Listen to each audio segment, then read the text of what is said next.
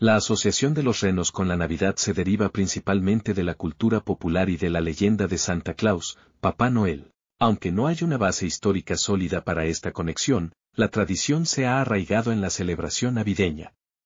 Aquí hay algunas razones por las que los renos están relacionados con la Navidad. Número 1. El trineo de Santa Claus. En la historia de Santa Claus, se dice que él viaja alrededor del mundo en la víspera de Navidad para entregar regalos a los niños buenos. Para lograr esto, se cree que Santa utiliza un trineo tirado por renos. Cada uno de los renos tiene un nombre y una función específica, siendo Rudolf el reno más famoso gracias a la canción Rudolf el reno de la nariz roja. Número 2. Origen en la literatura. La figura de Santa Claus, como la conocemos hoy, se originó en la literatura del siglo XIX. El poema Una visita de San Nicolás, también conocido como La noche antes de Navidad, escrito por Clement Clark Moore en 1823, menciona a los renos de Santa y su trineo. Número 3. La figura de Santa Claus. Santa Claus, o Papá Noel, es representado a menudo como un hombre mayor, alegre y regordete, vestido de rojo y blanco, y con una larga barba blanca. Esta representación se popularizó en la cultura estadounidense a través de diversas influencias y se ha mantenido en gran parte del mundo.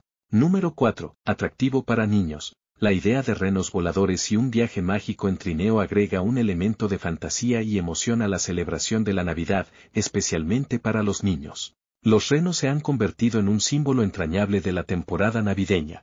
Aunque la conexión de los renos con la Navidad es en gran parte una creación de la cultura popular, ha enriquecido la tradición y el folclore navideño a lo largo de los años. Los renos se han convertido en una parte querida de la historia de Santa Claus y añaden un toque de magia a la celebración navideña.